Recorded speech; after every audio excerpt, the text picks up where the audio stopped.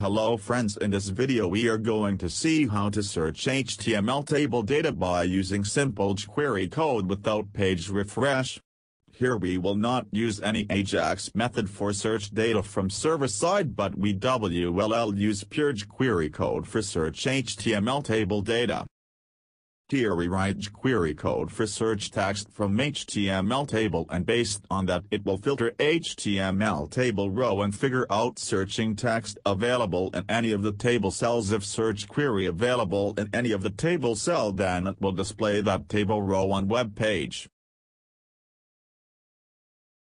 This is my index.php page in which we have load employee table data from MySQL table and display on this page in HTML table format. In this table we have a data attribute is equal to employee table. We will use this as selector in query code for searching query from this HTML table. From this table after searching query, it will display only those table row in which search text is available.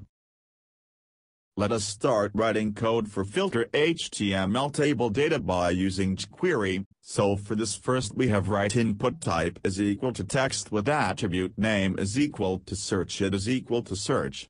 We will enter search query into this text box and from HTML table it will display match table row from HTML table. Now we have moved to write query code and here we have write dollar with selector hash search with key up event with anonymous function, here search is the id of search text box. In this function we have write search table function with one argument, in argument we have write dollar $this dot value method, we will make this search table function and by using this selector we will get the value of search text box and we have use key up event. So whenever we have write any character into search text box, then it will call this search table function. This function will search text from employee data HTML table and display only matched text from HTML table. Now we have defined search table function so for this we have write function with name search table with one argument like value. This way we have defined function. Under this function we have write dollar with query selector like hash employee table with table row dot each method with anonymous function. Here employee table is the of HTML table and this code will check all table row one by one and search text from this table row. After this we have write variable found is equal to false, we will change this found variable value to true, if we have found any matched text from HTML table. Then after we have write dollar $this selector with each method with anonymous, this code check table data for each table row one by one. So before each method check all table row one by one and after this each method check all data of table data tag of each table row. So now we can easily access the text of each table row's table data tag. So in this function we have write if statement with condition. In condition we have write dollar $this selector dot text function dot to lowercase function dot index of function with one argument and in this function argument we have write value dot to lowercase function greater than equal to zero. Here in this code, First we have get text of each table data by using text function and with help of to lowercase function we have convert the text of table data tag to lowercase and index of function is used for search the character from table data text. So this function is used for search character from table data string.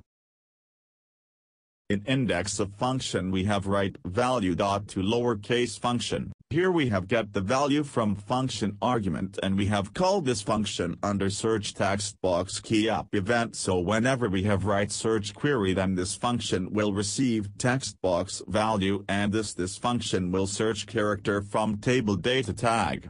If text box type character is find from table data text then will execute if block of code. So in this block we have write found variable is equal to true. So when found variable has true value that means search query data is find under this table, so we want to show table row and under hide other table row. So for this first we have this table data each method and write code under table row each method and here we have write if statement with condition like found variable is equal to true then we have write dollar this selector dot show method. Here this condition will check, if found variable value is true then it will execute dollar this dot show. Here this is the current table row and by using show method we can display this table row on web page. But suppose found variable is not equal to true, then it will execute else block of code and in this block we have write dollar $this dot hide method, here from this selector we can get the current table row and by using hide method we can hide this table row in HTML table. So this way this code will work table row show hide is based on the value of found variable and found variable value is based on search query character is available in HTML table table data. If it is available then found variable will be true and if it not available then found variable value will be false. So friends we have checkout what in browser.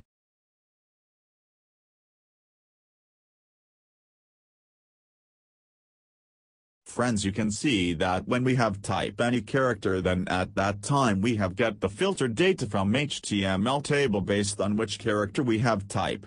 This type of functionality is very useful into our web application. This is because for filtered data from HTML we have not execute any server-side code for filtered data and all things we have done on web page.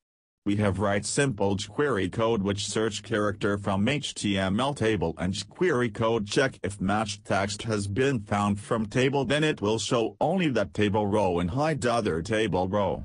So friends if you like this video tutorial, please share this video with your friends or even you can also share on social media also. Friends you want to get more update of my video, so, friends you can subscribe my YouTube channel. Friends you can also like my Facebook page also or you can also follow Webslesson on Twitter.